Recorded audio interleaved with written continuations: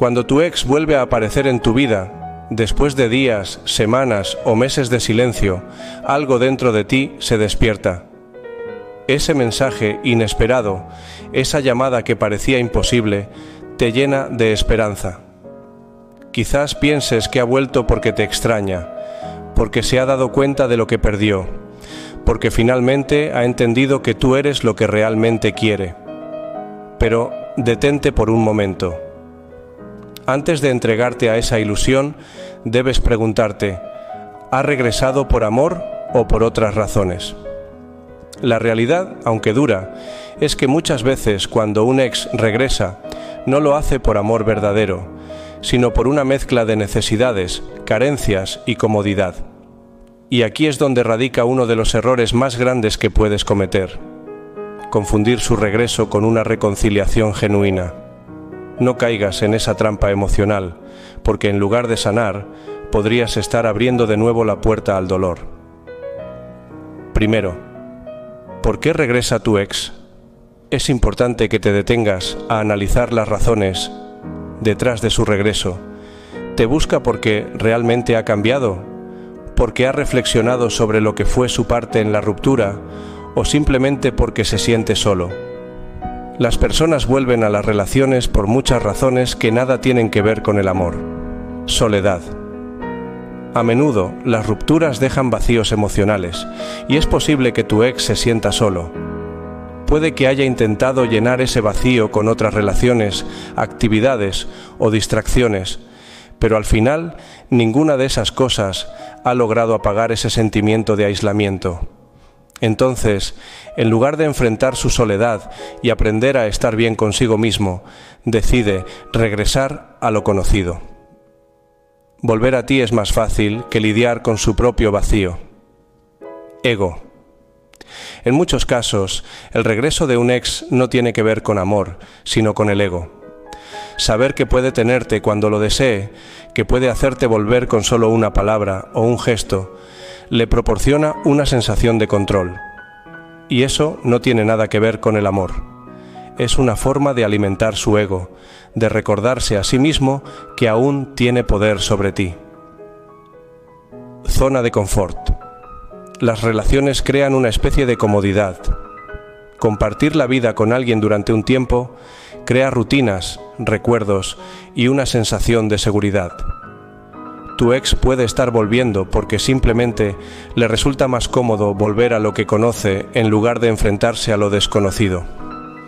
No necesariamente porque te ame, sino porque eres una especie de puerto seguro. 2. El miedo a estar solo. Uno de los mayores miedos que enfrentamos como seres humanos es el miedo a estar solos. Ese miedo puede ser abrumador, y cuando alguien no está preparado para enfrentarlo, buscará la manera más fácil de evitarlo. Volver a una relación pasada es, muchas veces, una manera de evitar ese miedo. Tu ex puede haber intentado seguir adelante, pero cuando las noches se volvieron demasiado silenciosas, cuando las salidas con amigos no fueron suficientes para llenar el vacío, te buscó. No porque te ame, sino porque le aterra la idea de estar solo. Este tipo de regreso es peligroso, porque se basa en una necesidad temporal, no en un deseo real de construir una relación sólida y amorosa. Es un parche emocional que tarde o temprano se desmoronará, dejándote de nuevo en el punto de partida.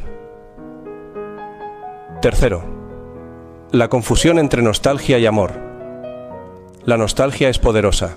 Los recuerdos compartidos, las risas, los momentos íntimos, todo eso puede volver a la mente de tu ex y hacerle creer que todavía te ama.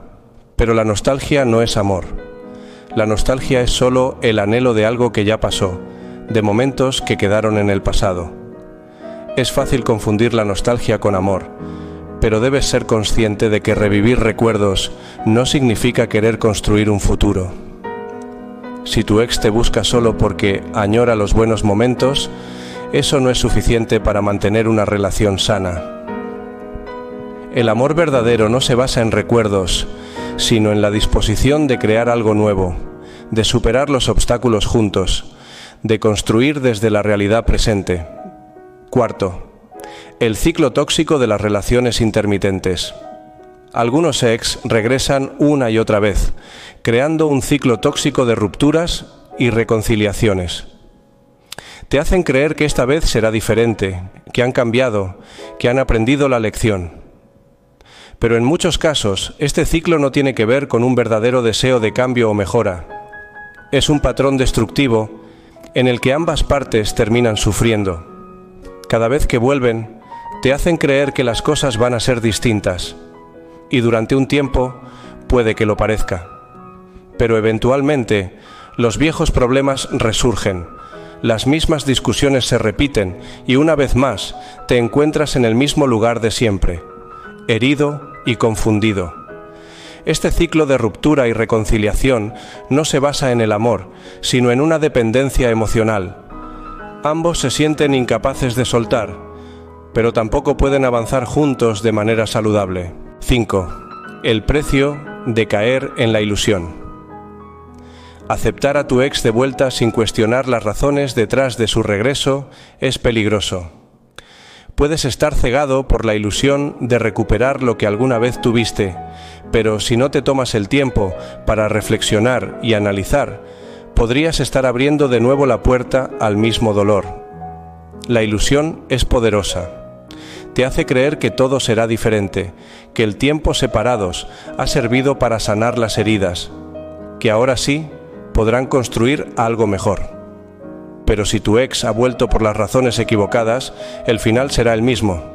Y cada vez que repites ese ciclo, el precio emocional es más alto. Tu autoestima se ve afectada, tus emociones se ven desgastadas y terminas sintiéndote más roto que antes. No vale la pena sacrificar tu bienestar por la ilusión de un regreso que no se basa en el amor. 6. La importancia de amarte a ti mismo primero. Cuando tu ex regresa, es tentador querer abrirle la puerta de nuevo. Después de todo, alguna vez lo amaste, compartiste tu vida con esa persona y parte de ti sigue esperando que todo pueda volver a ser como antes. Pero antes de hacerlo, debes detenerte y preguntarte, ¿qué es lo que realmente mereces? El amor propio es la clave para tomar la decisión correcta si te amas a ti mismo lo suficiente, sabrás que mereces más que un regreso basado en la comodidad, la nostalgia o el miedo a la soledad. Merezcas un amor genuino, profundo, un amor que se base en el respeto, la confianza y el compromiso. Amarte a ti mismo significa no aceptar menos de lo que mereces. Significa no dejar que el miedo a estar solo te lleve a aceptar una relación que no es saludable para ti significa tener la fortaleza para decir no cuando sabes que el regreso de tu ex no es por amor, sino por razones egoístas. 7. ¿Cómo actuar cuando tu ex regresa? Si tu ex ha regresado, es normal que te sientas confundido. Puede que una parte de ti quiera darle una segunda oportunidad, mientras que otra parte sabe que no es lo mejor. Aquí tienes algunos pasos que puedes seguir para tomar la decisión correcta. Analiza sus motivos. No te dejes llevar solo por las palabras. Fíjate en las acciones. ¿Está dispuesto a trabajar en los problemas que tuvieron? ¿Ha mostrado un cambio real o solo está buscando consuelo temporal? Comunica tus expectativas. Si decides darle una oportunidad, es importante que ambos tengan claro qué esperan de la relación. Habla de lo que necesitas, de lo que no estás dispuesto a aceptar y de lo que ambos deben hacer para que funcione. No te apresures. Tómate tu tiempo para decidir. No te sientas presionado a dar una respuesta inmediata. Reflexiona sobre lo que realmente quieres y mereces. Escucha a tu intuición a veces tu corazón y tu mente pueden estar en conflicto, pero tu intuición siempre sabe la verdad.